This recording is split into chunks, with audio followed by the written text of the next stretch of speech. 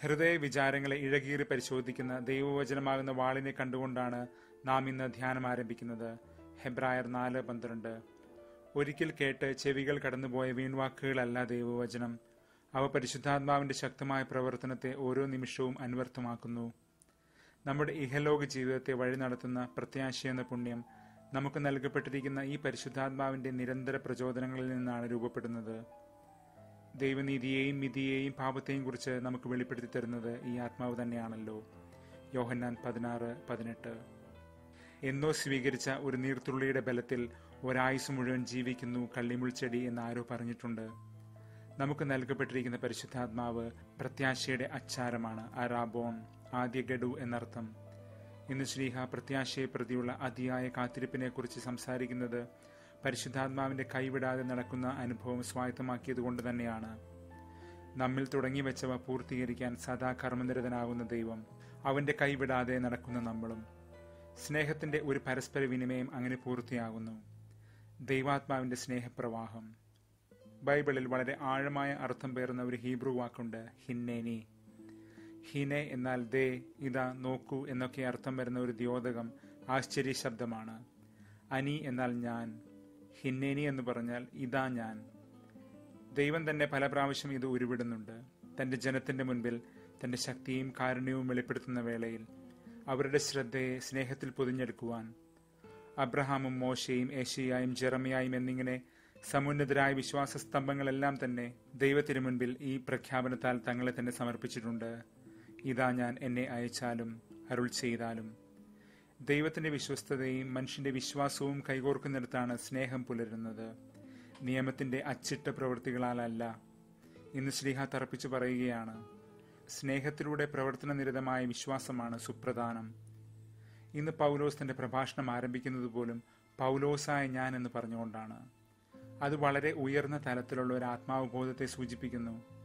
ദൈവത്തിനു മുൻപിൽ താൻ എന്താണെന്ന് ദൈവത്തിൽ നിന്ന് തന്നെ പൗലോസ് അറിഞ്ഞിട്ടുണ്ട്. തന്റെ കുറവും നിറവുമെല്ലാം.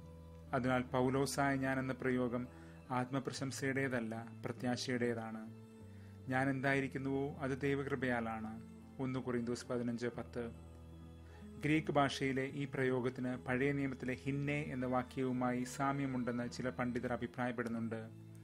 ഇതാ ഞാൻ എന്ന് പറയുന്നതിന് തുല്യമാണ് പൗലോസിന്റെ ഈ വാക്കുകൾ അത്രേ. വിശ്വാസത്തിന്റെയും വിശ്വസ്തതയുടെയും ആത്മസമർപ്പണത്തിന്റെയും ധ്വനിയാണല്ലോ ഹിന്നയ്ക്ക്. നിയമാവർത്തനം ഇരുപത്തേഴ് ഇരുപത്തി ആറ് സൂചിപ്പിച്ചുകൊണ്ട് ശ്രീഹ പറയും മോശയുടെ നിയമം രക്ഷയുടെ അവസാന വാക്കായി സ്വീകരിക്കുന്നവർ അത് കടുകിട തെറ്റാതെ അനുസരിച്ചു കൊള്ളണം. ഇല്ലെങ്കിൽ ആ നിയമം മാരകമായി മാറും. അങ്ങനെ അനുസരിക്കാൻ മനുഷ്യന് അസാധ്യമാണല്ലോ. ഗലാത്തിയരുടെ ആദ്യം മുതലേ നാം ഈ പ്രസ്താവന കേൾക്കുന്നുണ്ട്. അതിനാൽ അത്രയും നമുക്ക് കൃപ ആവശ്യമായി വരുന്നത് എന്ന് പൗലോസ് ഓർമ്മിപ്പിക്കുന്നു. അത് സമൃദ്ധമായി ചൊരിഞ്ഞ് നമ്മെ ജീവനുള്ളവരാക്കാനാണ് ക്രിസ്തുനാഥൻ വന്നതും അതുകൊണ്ട് പഴകിപ്പോയ ആ നിയമവ്യവസ്ഥയെ മുറുകെ പിടിക്കുന്നവർ ക്രിസ്തുവിന്റെ പുതുമയെ തന്നെ തള്ളിക്കളയുകയാണ്. ക്രിസ്തുവിനെ കൊണ്ട് ഉപകാരമില്ലാത്തവരെ പോലെ എന്ന് ശ്രീഹ വിശേഷിപ്പിക്കുന്നു. അങ്ങനെ കുറച്ച് വെള്ളം ചേർത്ത് നേർപ്പിച്ച് ഉപയോഗിക്കാനുള്ളതല്ല ക്രിസ്തു രഹസ്യം. ഒന്നുകിൽ മുഴുവനും അല്ലെങ്കിൽ ഒട്ടുമില്ല. ഓൾ ഓർ നത്തിങ് വിശുദ്ധ അഹമ്മദ്രേസ്യ പറയുന്നത് പോലെ. ക്രിസ്തുവിൽ ഇടത്താവളങ്ങളില്ല. അവനെ കണ്ടുമുട്ടിയാൽ പിന്നെ അവനിൽ ഇടറാനും അവനോടൊപ്പം ഉയരാനും അങ്ങനെ രണ്ടേ രണ്ട് വഴികൾ മാത്രമേ നമ്മുടെ മുൻപിലുള്ളൂ. സങ്കീർത്തനം നൂറ്റി പത്തൊമ്പതിലെ നാൽപ്പത്തൊന്ന് മുതൽ നാൽപ്പത്തെട്ട് വരെ വാക്യങ്ങൾ നമ്മളിന്ന് ഉദ്ഘോഷിക്കുകയാണ്. ദൈവത്തിന്റെ ഇടതടവില്ലാത്ത കാരുണ്യം നിതാന്തമായ അവിടുത്തെ സ്നേഹശീലം. അതനുഭവിച്ചിട്ടുള്ളവൻ ദൈവത്തോടുള്ള തന്റെ കരതീർന്ന വിശ്വസ്തത സ്നേഹത്താൽ മുദ്രണം ചെയ്യുന്നു. ഞാൻ ഉത്തരമരുളും ഞാൻ അനുസരിക്കും ഞാൻ നടക്കും ഞാൻ സംസാരിക്കും ഞാൻ ആനന്ദം കൊള്ളും ഞാൻ ഉയർത്തും ഞാൻ ധ്യാനിക്കും.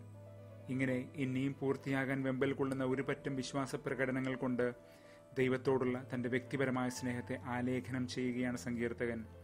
ഞാൻ ഞാൻ മാത്രമെന്നല്ല വമ്പു പറച്ചിൽ.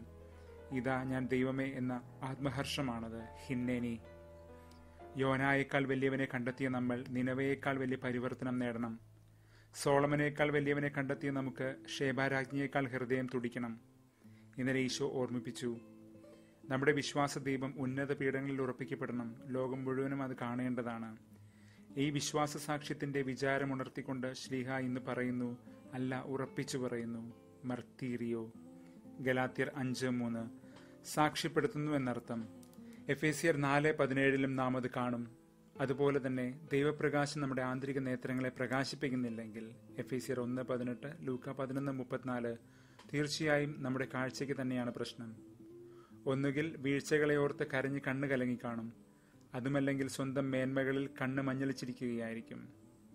ഈ വിധം നിരാശയോ വ്യർത്ഥാഭിമാനമോ അല്ല പ്രത്യാശ. നമ്മുടെ വിളിയിലുള്ള ഈ പ്രത്യാശ കാണാൻ ദൈവം തന്നെ നമ്മെ പ്രകാശിപ്പിച്ചിട്ടുള്ളതുമാണ് എഫ് എ സിർ ഒന്ന് പതിനെട്ട്. എന്നാൽ നിയമത്തിന്റെ അന്ധമായ അനുകരണം കൊണ്ട് നിയമത്തിന്റെ അന്തസത്ത കാണാതെ പോയവർ ഇപ്പോഴും ഇരുട്ടിൽ തപ്പിത്തടയുകയാണ്. അവരന്തരാണ് മറ്റുള്ളവരെ വീഴിക്കുകയും ചെയ്യുന്നു. ഇന്ന് ഒരു വിരുന്നുമേശയിൽ ഇങ്ങനെ ഒരു ഫരിസേയൻ ഈശോയിൽ ഇടറുന്നത് അതുകൊണ്ടാണ്. ഈശോ പറയുന്നു പുറം കഴുകുന്നതൊക്കെ നല്ലത് തന്നെ എന്നാൽ ഏറ്റവും അത്യാവശ്യമായി ചെയ്യേണ്ടത് അകം കഴുകലാണ്. കാരണം ഹൃദയങ്ങളെ ഇഴകീറുന്നവൻ എല്ലാം കാണുന്നില്ലയോ? മർക്കോസും മത്തായിയും ഈ സന്ദർഭത്തിൽ ഏഷ്യ ഇരുപത്തൊമ്പത് പതിമൂന്ന് പ്രതിപാദിക്കുന്നുണ്ട്. ദൈവത്തോട് അതിരം കൊണ്ട് അരികിലും ഹൃദയം കൊണ്ട് അകലെയുമായവരെ കുറിച്ച് പരിസേയൻ എന്നാൽ മാറ്റി നിർത്തപ്പെട്ടവനെന്നാണ് അർത്ഥം. വിശുദ്ധിയുടെ ഒരു പരിവേഷമാണത്. അശുദ്ധമായതിൽ നിന്നെല്ലാം അകന്നു നിൽക്കുന്നവൻ. അങ്ങനെ അകന്നകന്ന് അവൻ പരമപരിശുദ്ധിയായ ദൈവത്തിൽ നിന്ന് പോലും അകന്നുപോയി. വലിയ ഒരു വിരോധാഭാസമല്ലേ? സുവിശേഷത്തിന്റെ വിരോധാഭാസം പാരഡോക്സ് ഓഫ് ഗോസ്പൽ എല്ലാം വിറ്റ് വയൽ വാങ്ങുന്നവനെ പോലെ പിന്നെ അവന് ഒരു മിഠായി മേടിക്കാൻ കൂടി പൈസ കാണില്ല. എന്നാൽ ലോകത്തിലെ ഏറ്റവും സമ്പന്നനായി തന്നെ അവനിരിക്കും കാരണം അവൻ നേടിയത് ദൈവത്തെയാണ്. ദൈവത്തെ ചില്ലറയായി മേടിക്കാൻ കിട്ടില്ല അതാണ് പ്രശ്നം. All or nothing. മൊത്തത്തിൽ അല്ലെങ്കിൽ ഇല്ല.